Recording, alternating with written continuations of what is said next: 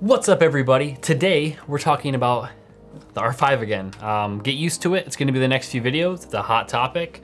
Uh, it's a nice camera. So uh, as you've probably heard, the uh, R5 overheats. And uh, I haven't found that to be true yet. And I've done a little bit of testing and I'll tell you just a little bit about that in a minute. But uh, today we're just gonna talk about how to prevent the overheating on the R5. Uh, if it does even exist, I still have yet to have it overheat, like I said. Uh, so let's, uh, let's get into it.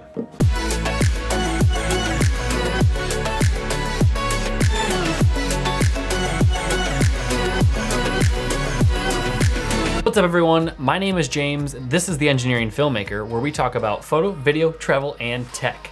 I also have a forum if you want to join that. Link in the description down here, engineeringfilmmaker.com, where we can ask questions, help others, and grow as a community to get going. So let's talk about the overheating on this camera. Uh, for one, like I said the sixth time already, I don't believe it's going to overheat. Uh, it might if you overuse it or abuse it or don't listen to what Canon has to tell you. Uh, I took it outside in the sun. It was about 85 degrees today and I shot 4K 60, 4K 120, and 8K RAW.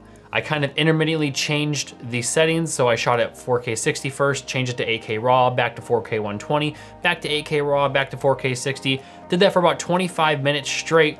Uh, gave it like maybe five to 10 seconds between taking shots here and there, sometimes even like one second between shots but it wasn't a real world application in my opinion. I just went out and shot some random shots. So soon we are going to get a real world application because I'm taking this bad boy and I'm gonna shoot some commercial work with it. So let's get into how to prevent your overheating um, in terms of what Canon tells you because that's who made the camera and they have engineers who decide this stuff with math believe it or not. But You really have to listen to the manufacturer on this. So we'll start with 4K 24, 4K 30.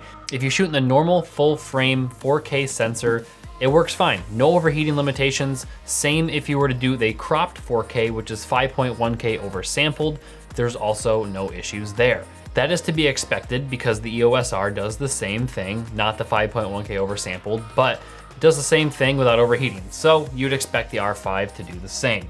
But then when you get to 4K 30, when you are oversampling from 8.2K, then you are limited by 30 minutes, which is the max record time regardless, so big deal.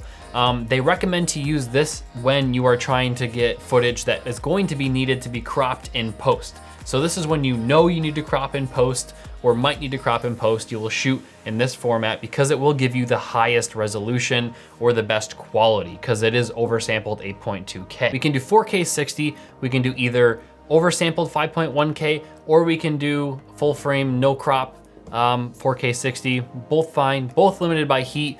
The 4K oversampled is limited by 25 minutes. The uh, non-oversampled is limited by 35 minutes. The oversampled 4K 60 is exampled to be used for wildlife or other productions where you may need to have a tighter crop on a full HD production in post. So let's say I wanted to crop in on just someone's head in post, but I'm shooting from really far away. Uh, I can shoot in that resolution and I'll be able to crop in and have really good resolution on my face still. Now, as for the 4K no crop, uh, this one is very similar. It's mainly said to be used just for a higher frame rate. So if you wanted to be able to shoot a little bit higher frame rate in 4K, you would use this setting, but it does not say to use for continuous shooting. It's more or less for short bursts of video so that you are not uh, just sitting there hitting record for 30 minutes in 4K 60. Not really sure why you would need to record something long-term in 4K 60 or 120. Anyway, this is where it gets fun uh, and kind of sucks. 4K 120, uh, we're looking at 15 minutes of record time, which is unfortunate because um, cause that's not that long. However, I don't see anybody needing to record a straight 15 minute video in 4K 120. Now, I, I do not know if it'll be the same if you were to record 15 one minute videos in 4K 120 uh, consecutively, if that would overheat the camera or not, or if it would last just a little bit longer. Uh, either way, I don't think I would shoot an entire wedding in 4K 120. Now Canon specifically says on their spec sheet for the R5, 4K 120 is specifically meant for short bursts of slow motion video. They're not saying go film an entire wedding in 4K 120 because you're shooting multiple short bursts. They're saying you're shooting a wedding, let's say in 4K 60 or, or 1080 60, and you're like, hey, I think this would be a really cool shot to get in really slow-mo. So you pull out the 120 4K and you get your shot. Or say you're doing a commercial job and you think a shot would be really cool and even slower motion than 60. Uh, so you'd pull this camera out, put it in that setting, and you would shoot a few short bursts of 4K 120. Not to shoot an entire video or production or whatever in 4K 120. Keep that in mind. Now, the big one, 8K in general, raw or not raw, both limited to 20 minutes. And this is the most frustrating one I have seen people talk about. Why'd you get an 8K camera if you're not gonna shoot 8K? Why get an 8K camera if it's gonna overheat? Why blah, blah, blah, blah, blah.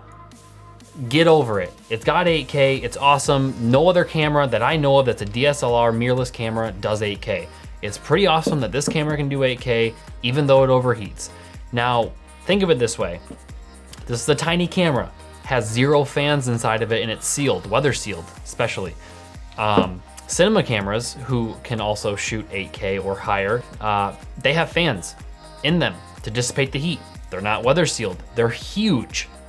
They're, they're huge compared to this. They're a lot bigger. Uh, so they can dissipate the heat a lot better. So Canon specifically says on their website, when you are shooting an 8K, whatever, raw or not, it is meant for, I'll read it for you directly, can be utilized to get unique angles along a main camera.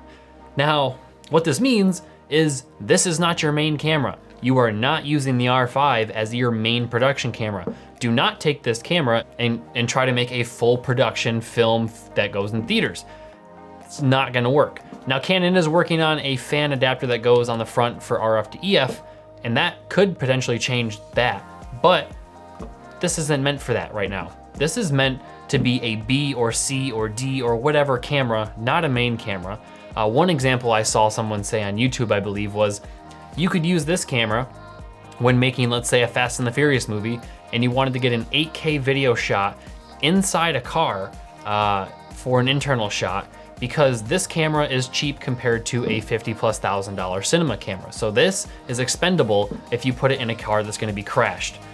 That There you go. That's gonna be a short shot. It's not gonna be recording for hours. It's gonna be recording for a few minutes before it gets destroyed or you know the car gets hit. But this is meant to get short shots uh, alongside an actual production camera or other camera that can handle the 8K. I'm afraid to ask this, but let me know in the comments down below, would you use the R5 after hearing this or in general? Uh, and what would you use it for if you did buy it? But that's it for today, guys. Don't forget to like, share, subscribe to this video. Um, also, feel free to join the forum description below. I would love to start a little community with you guys so that everyone can help everyone. Let's help, let's teach, let's grow. And I'll see you on the next one.